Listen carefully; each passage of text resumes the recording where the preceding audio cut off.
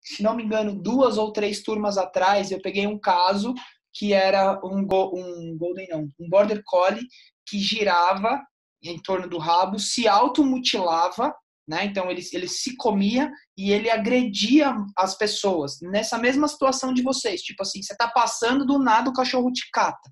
Ele passou na mão de vários adestradores, ninguém deu jeito, então o pessoal deu tranco, chutou, fez o que fez no cachorro e ninguém dava jeito no cachorro.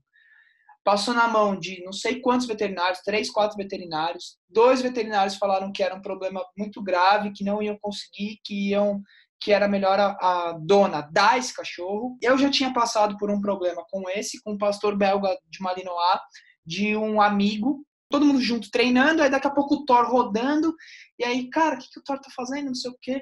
Aí um amigo nosso, treinador e veterinário, falou assim, cara, esse cachorro deve ter criptorquidismo.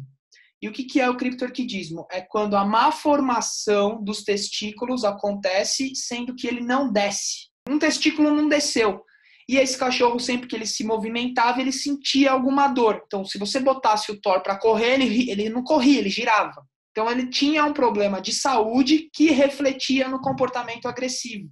Então, não adianta você chutar, não adianta você bater, não adianta você treinar, não adianta você fazer nada. Não adianta. Que que foi, qual foi o processo feito? Faz a castração do cachorro, descobre se é isso mesmo, e aí quando foi fazer a castração, descobriu, era isso mesmo, ele tinha criptorquidismo. Então, o que eu estou querendo dizer para vocês é o seguinte: descartem qualquer coisa relacionada à saúde, tudo. Pode ser algo coxofemoral, pode ser uma dor de cotovelo, pode ser uma dor de pata, pode ser uma dor aqui, assim, ó, na, naquela, no, no quinto dedo, pode ser algo neurológico.